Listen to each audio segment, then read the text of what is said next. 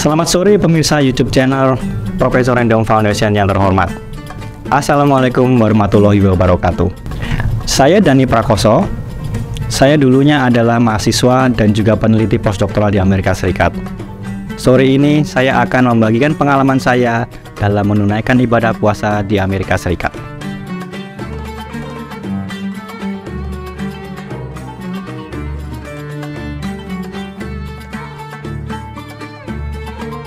Saya pertama kali melakukan puasa Ramadan di Amerika Serikat tahun 2009 dan saya tinggal di sana selama sekitar 12 tahun. Pada saat saya tahun pertama di sana, yaitu tahun 2009, bulan Ramadan jatuh di akhir bulan Agustus hingga akhir September.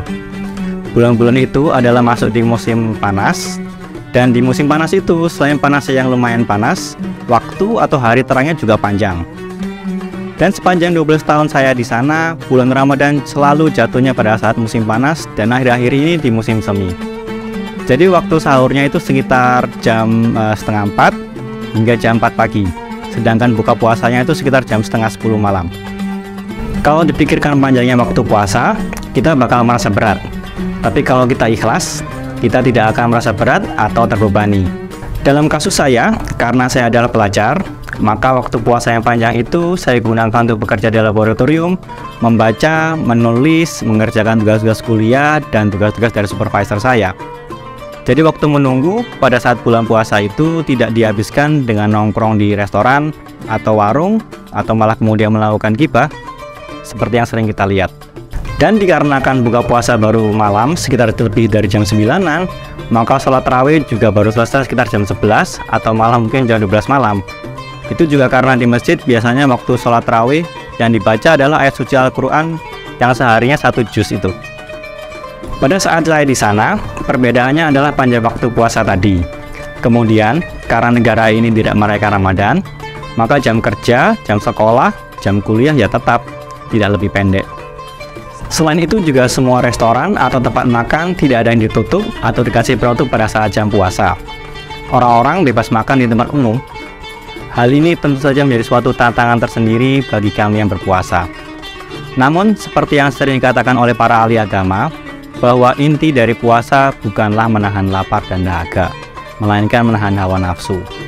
Jadi, seharusnya apabila melihat orang makan di restoran dan di tempat-tempat umum, bukanlah menjadi masalah bagi yang berpuasa.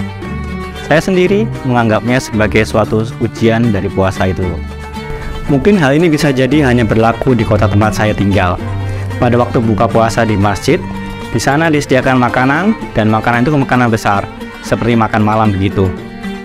Menunya setiap hari berganti-ganti tergantung dari sponsor dari hari itu.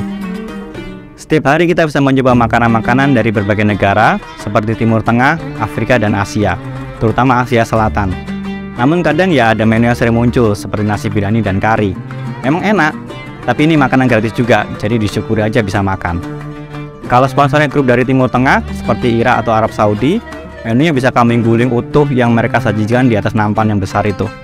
Selain itu, hampir setiap hari kita ditawari untuk membawa makanan-makanan itu pulang.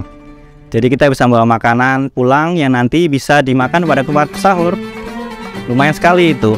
Seingat saya, istri saya jarang sekali masak pada bulan Ramadan karena kami buka puasa di masjid dan sahur makanan-makanan yang kami bawa dari masjid.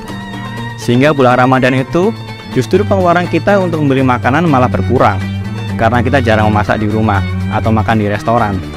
Uangnya bisa digunakan untuk beramal atau yang menjadi sponsor dari acara buka puasa di masjid.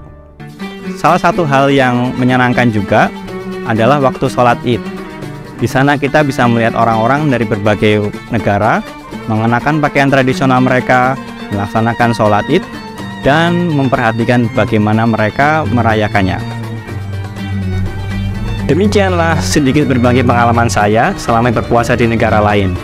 Sampai jumpa di Kultum PNF selanjutnya.